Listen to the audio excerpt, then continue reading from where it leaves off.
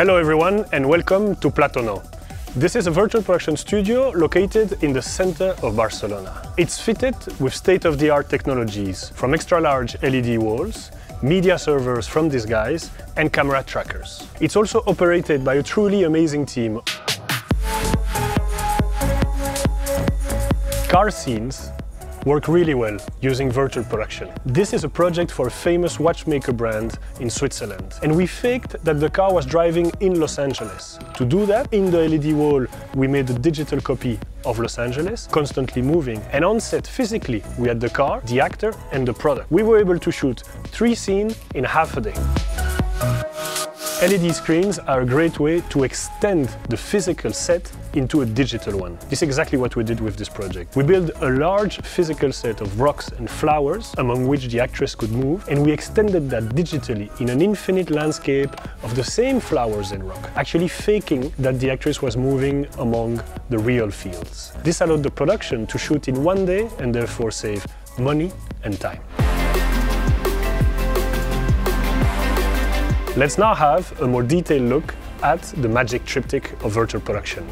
LED walls, media servers and camera trackers. We've installed a large curved LED. It's 15 meters wide by 4 meters tall. It has a 2.6 pixel pitch, giving us a 6K resolution. Here at Plató Nou, we work with these guys. We build a timeline with our client in which we put all the necessary content, allowing us in pre-production to deliver high-quality pre-visualization with all the camera settings and deliver effortless shooting here on set. In the timeline, we can put any type of content, an image, a video, an Unreal Engine file, and move between them just with one click, instantly in the LED volume. The last part of the magic triptych of virtual production is the camera tracker. It's this little crown you can see here. We can place it on top of any camera and it allows us from these guys to track the exact position of this physical camera in space. This is great because at any moment we can move this camera and it will adapt instantly the content on the LED screen.